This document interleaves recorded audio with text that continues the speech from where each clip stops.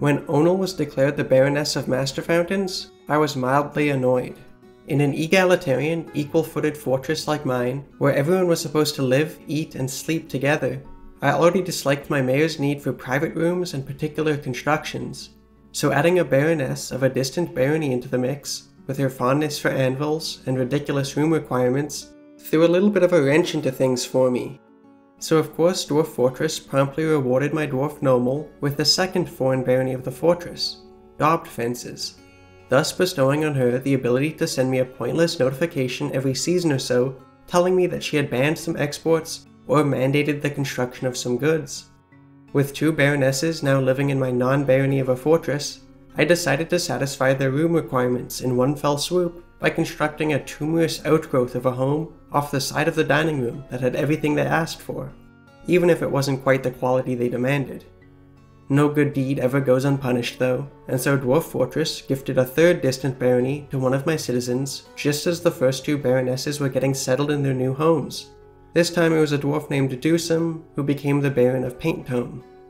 Adding a third and final residence off the end of the noble housing tumor was no problem to accommodate, but, as though the game was waiting for me to paint myself into a corner, it was then that I was given the supposed good news from the outpost liaison that my fortress would be becoming a barony in short order, and that I should select a dwarf from my population to inherit such a noble title. Which led to Ablel becoming the baroness of our fortress and the fourth and final useless noble we would have to deal with. If this had all happened 10 months ago when I didn't have to worry about retreading old ground, I would have treated these nobles the same way that I treated the countess of my first fortress, and built some kind of contraption that would feed them to a forgotten beast. I had plenty to work with in my caverns, even if they did keep killing each other. But I've already done that once, and I've been told that variety is the spice of life, and so I decided to try to embrace these nobles and build them the kind of homes they would truly enjoy. Which meant bedrooms for lazing the day away, offices for pretending to work, tombs for remembering their mortality, and dining rooms for watching the prisoners in the dungeon. I arranged things this way because just about every dwarf convicted of a crime in my fortress had been done in for violating a production order from one of the baronesses. And even though that was my fault, because I was the one that had ignored construction mandates for all those years, I couldn't help but throw my dwarves under the bus and build it in a way that turned jail time into a bit of a public spectacle.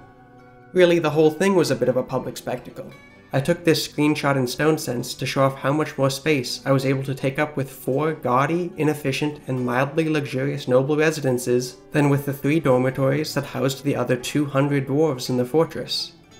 But of course for my dwarves, getting placed in the dungeon fishbowl for a couple months was probably worse than the jealousy. Fortunately though, only three of the four restraints in the prison wound up getting filled with dwarves, as my captain of the guard slash hammerer went on a bit of a rogue hammering rampage in the hospital before a fourth dwarf could be locked up. My baron and baronesses didn't seem to mind though. They still got to see the dwarfs that defied them suffering in prison from the comfort of their dining room tables.